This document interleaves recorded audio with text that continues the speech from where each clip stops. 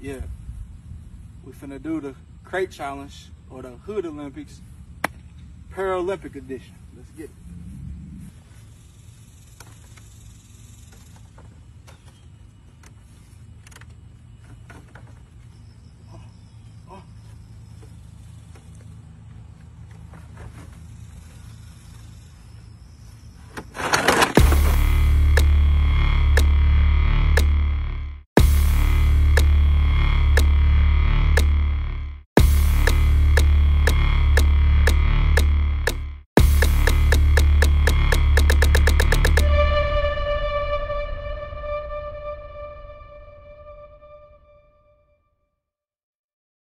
Welcome once again to a new edition of MussBuss TV, where we bring you news, reviews, and interviews of. Lucian artists both local and abroad. And today in the news.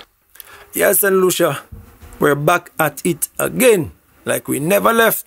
This time we have another review, and we're going to be reviewing a Facebook post by one of St. Lucia's videographers, the Wolfman himself, Derwin Modeste. Yeah, man. And this one concerns Motto. And I think that last song he dropped there with Conscience, you know, Spankia. But before we get into it, don't forget to like and subscribe.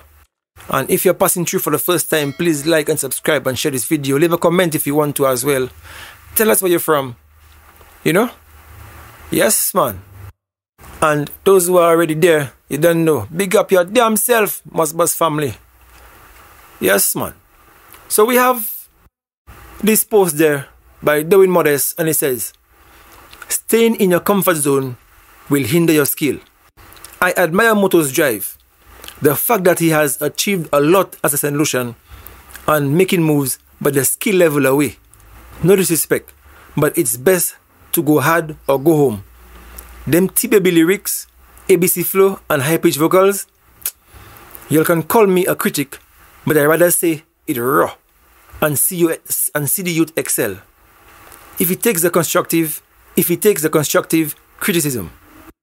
Now that post there, at the time I took that shot there, that screenshot, it had 124 likes and loves and 47 comments and two shares. So people were into that post there concerning the statement that that, that Wolfgang said. In a reality, for me, this is constructive criticism, as he said, and not going at the artist. Because I have heard many people saying about Motto have a high pitched voice, and many artists talk about that.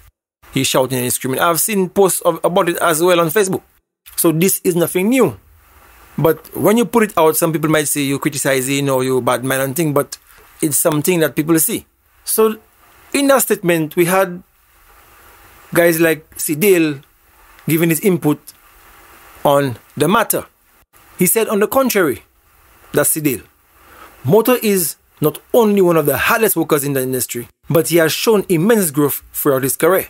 As an artist, I actually admire what he's been able to achieve.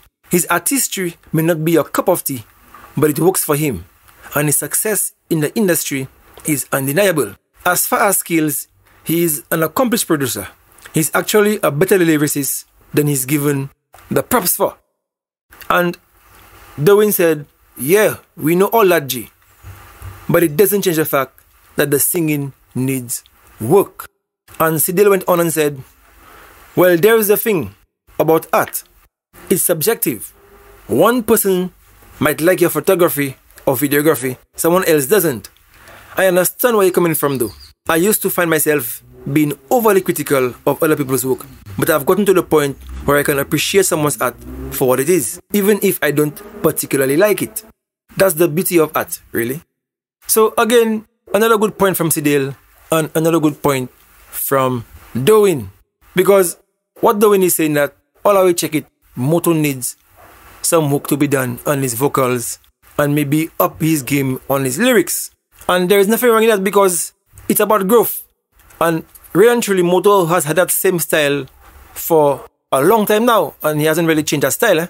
Because as um, Sidale rightfully said, it's working for him. So if it ain't broke, don't fix it. But improvement sometimes is needed to even advance further and reach new levels. Nothing wrong in that, nothing wrong in experimenting. If it works, you continue, you know? But if it doesn't, you go back to what was working for you. You understand? And see the point where he said he came to a point where he doesn't criticize other people's work. Now, every artist or people on the whole should come to that point because you know sometimes we complain a lot and we critique a lot and not realizing that we, we, we have to work on ourselves and we're more studying people. Yeah? But still in that, nothing wrong in a little critic if you see something could be improved.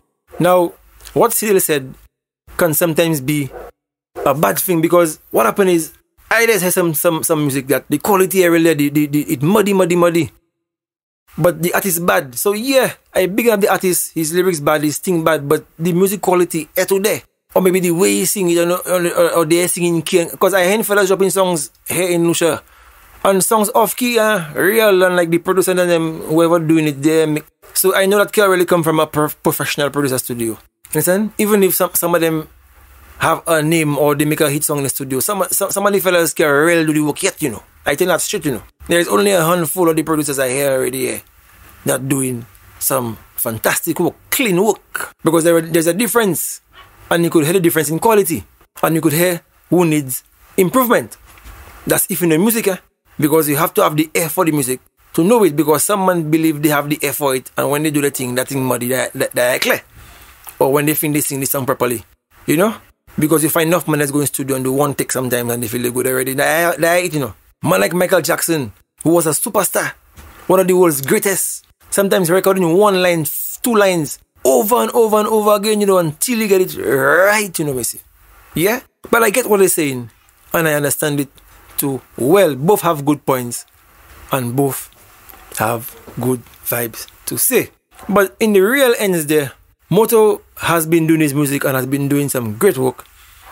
But yes, he has that screechy kind of voice, that high pitched voice. You know? I myself, I know how Motto go fix that or how we can alt or, you know, make it. But that's his vibe again, that's his vibe, that's his style. You know, and if it's working for him, it's best basically just work with it and I, I, to tell you, I personally, I know because boy, what? But out there, there's always room for improvement, and there will always be critic.